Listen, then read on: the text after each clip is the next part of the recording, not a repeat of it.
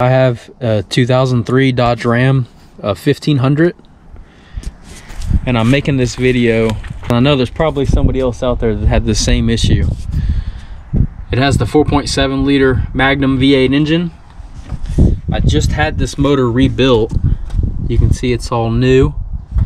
Well I was having an issue where whenever you would start the truck up it would instantly just die um, and then sometimes it would start up and run for a little bit and would run smooth and then it would just shut off just randomly shut off. And sometimes it would shut off by itself.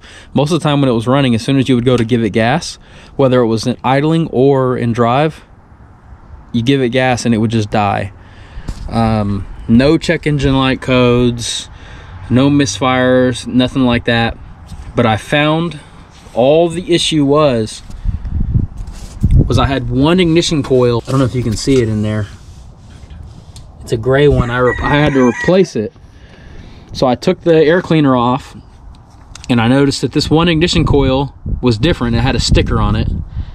I think it's a Duralast ignition coil. And I had, I think I had replaced this about six years ago. Um, I can't remember which one I replaced, but I think it might have been this one. But anyways, in the process of it being pulled out and taken to the machine shop, the it had rained and this one coil got wet. And all it was was I unplugged this one coil, fired the truck up and it ran. Of course it was misfiring, but it would run, you could accelerate, you could drive it around. As soon as I would plug this coil back in, give it a little bit of gas and boom, it would shut the computer down. So this one this one bad coil was shutting the whole computer down with no codes, no bogging. It was just an instant. It was like you were just turning the key off. Turning the key off. The dash would stay on. It was like you were just turning the key off, like cycling the key. I almost thought it was ignition. I had guys tell me it's the crank sensor, the cam sensor. And uh, luckily, I know there's people out there that are having the same issue, and all it was was that one ignition coil. And so what you can do is is just take your air cleaner off, and uh, there's one bolt right here.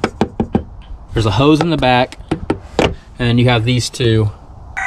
It's just a, a flathead screw with the hose clamp on it. Take that off and just unplug one of your coils start from the front start it up. If it runs drives around you're good to go. If it doesn't just start unplugging coil by coil. Plug that one back in start unplug the next one. Plug that one in unplug the next one. But that's all it was 2003 Dodge Ram 1500, 4.7 liter. It was one bad ignition coil was shutting the computer down. All right, y'all have a good day and good luck.